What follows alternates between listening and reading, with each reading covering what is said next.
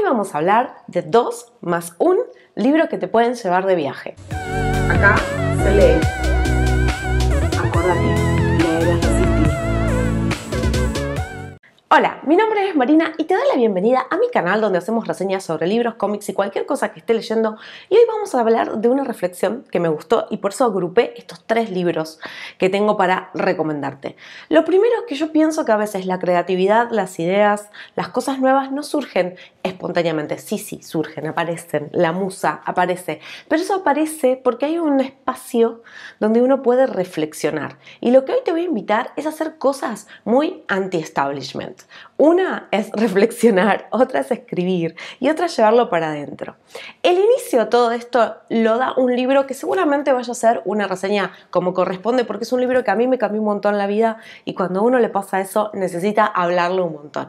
¿Y de qué libro estoy hablando? Del primer libro, el que inició todo esto, que es El Camino del Artista de Julia Cameron. Julia Cameron publicó esto en 1992, recién estaba leyendo que está en la categoría de autoayuda y creo que es verdad. Ella estaba dando cursos y en realidad surgió, este libro surgió, en base a muchas veces que ayudó a escritores o artistas a desbloquearse, a salir de la famosa hoja en blanco o de no puedo avanzar.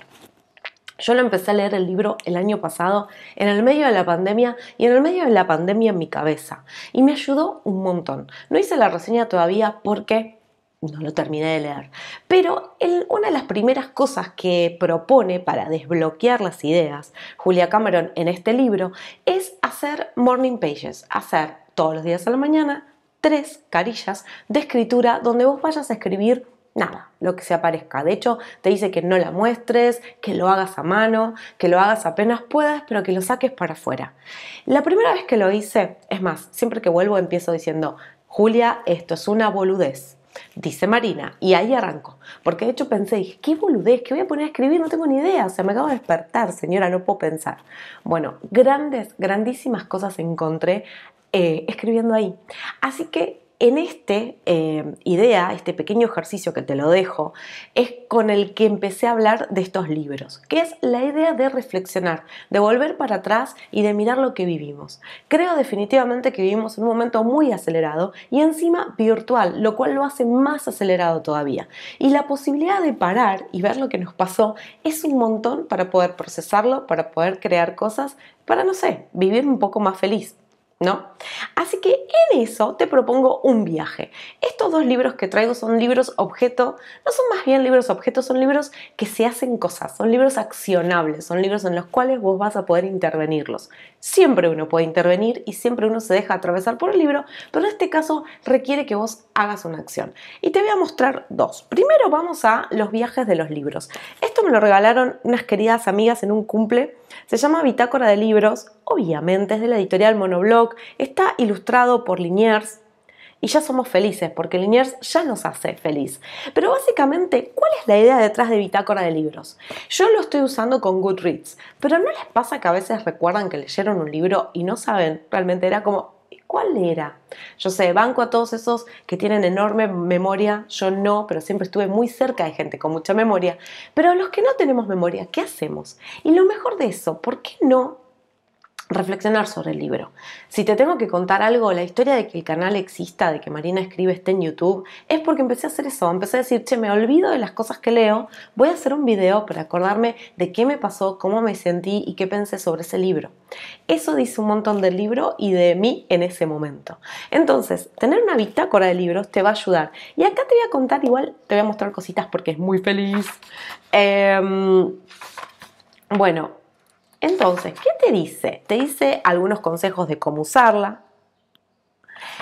Y en realidad, por ejemplo, acá pueden ver el índice, creo que se ve, pero tenemos, por ejemplo, libros para leer mil veces, mirar a través de un libro, de vacaciones con mi personaje favorito, mi biblioteca está llena de 10 libros que me provocan felicidad, mi colección de señaladores, 10 preguntas para hacerle 10 libros. Y quiero mirar la página esa para mostrarte cómo es, para que veas, ¿ves? Por ejemplo, cuando tenés 10 preguntas para hacerle a cada libro, a 10 libros, tenés acá, y siempre tenés un chistecín feliz de Enriqueta.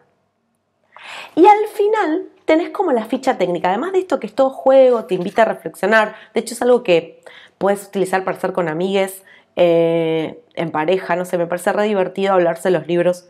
Bueno, la embole. No, no, también hablo de comida, ¿eh? recuerden. Pero por ejemplo, al final, em, acá te deja Acá te deja un quiz donde hay distintos dibujos de Enriqueta y tenés que preguntar qué está leyendo y cuál es el título. Y al final tenés como si fuera la ficha técnica, eh, donde acá te dice para que completes el libro, la editorial, lo que te gustó.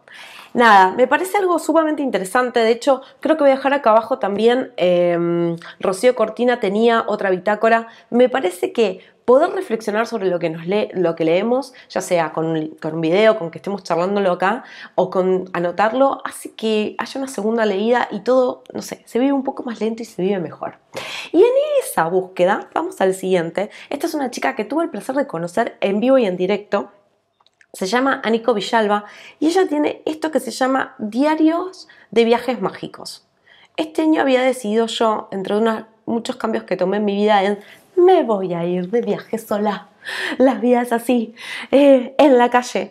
Y esto me encantó. Este justamente es un diario de viajes. Y lo que te propone Anico, perdón que doy la información técnica, la editorial Esfera, tiene una edición súper linda, se editó en el 2020. Lo que te propone acá son 100 consignas disparadoras para escribir mientras estás de viaje.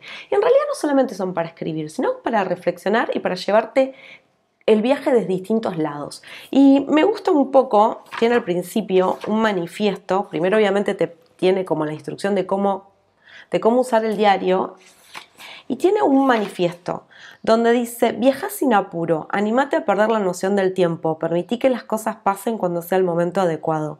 Apropiate de tu viaje, deja que tu intuición te guíe. Entonces, lo que ella tiene básicamente son, el libro está dividido en cinco partes, eh, que son estas, raíces, arte y creatividad, aquí y ahora, mundo espiritual, autocuidado, y en cada sección ella te agrega 20 consignas. Entonces, 20 consignas relacionadas con ese tema, 20 consignas. Y son tal vez tan simples como, no sé, eh, pensar en tu yo viajero y en tu yo quieto. ¿Cuál es la diferencia?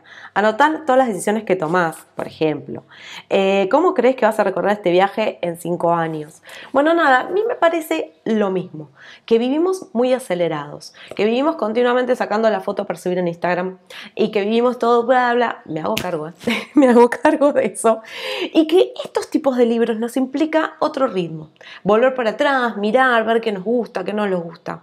Eh, eso es lo que yo trato de hacer cuando hago una reseña, cuando somos un vivo hablando de libros. Te invita a eso, te invita a digerirlo más despacio, que no sea fast food. No, vamos por el siguiente, estuvo genial, vamos, sino como seguirlo, no, no estar esperando siempre, como diría un gran personaje, How I Met Your Mother, New is always better, no estamos esperando que siempre lo nuevo sea mejor, sino que vamos más lento con esto. Así que bueno, estos son mis sugerentes, sus sugerencias, además son súper lindos de tener, son lindos de regalar, y más que nada, no sé, los tengas o no los tengas, eh, te invito a eso. Te invito a que lo que hagas también tenga una parte de reflexión y de, de escribirlo al respecto, para que lo puedas ver desde otro lado. Bueno, si te gustó esto, contame acá abajo. Si haces algo de eso, si sos ordenado, si sos una bitácora, ¿qué haces? Todo, todo lo divertido, como siempre pasa en escucharlos a ustedes y en que charlemos. Muchas gracias y nos vemos, como siempre, en el próximo video. Hasta luego.